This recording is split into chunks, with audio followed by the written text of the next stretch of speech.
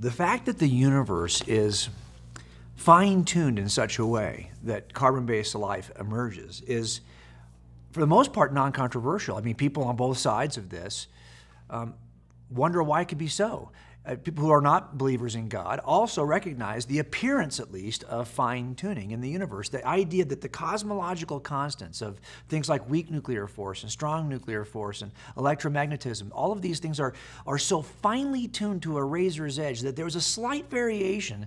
The universe itself would not be able to sustain any kind of life, and yet it does. And, and so both sides are kind of looking for an explanation. Of course, from my perspective as somebody who believes in the existence of God, I think this is another evidence for God's existence because it seems that the universe does not need to be this way. It's not uh, this way because it has to be based on physical law.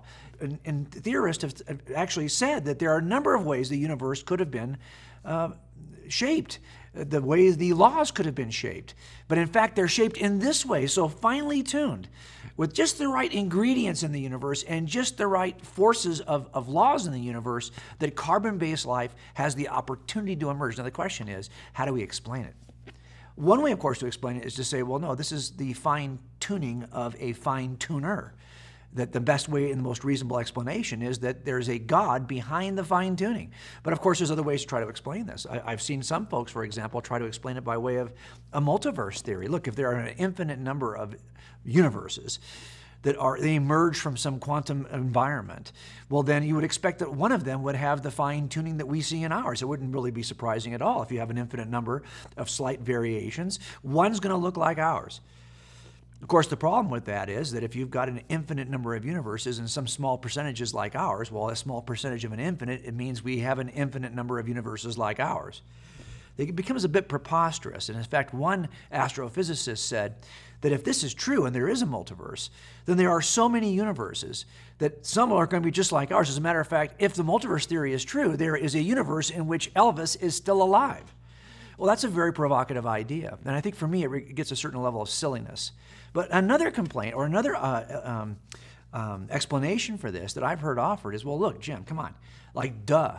If you happen to live in a universe in which you can make observations, well, then, then, then this is not a matter of a finely tuned universe for you. You just happen to live in the universe, so don't be surprised that it happens to be tuned in such a way that you could live in the universe. If it wasn't so, you wouldn't be here to talk about it.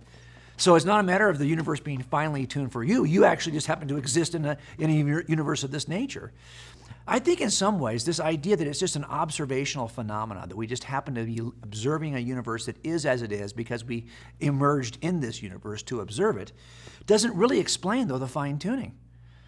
I've been at crime scenes in which the scene has been tampered with by an outside killer who tampered with the scene to kill the people who were in the scene. For example, in the one I'm talking about, it was a gas leak that he manufactured in order to kill two people.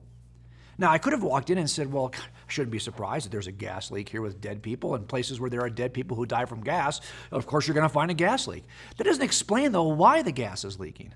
Why the gas, why the situation was as it is.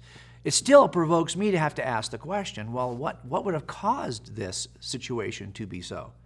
And I think no matter how we look at this universe in which we live, we owe it to ourselves to ask the question why is the universe as it is? How did it get to be tuned such as it is? And if there are many options, many uh, different possibilities, why is it that this is the one that actually produces a universe that supports people like you and me?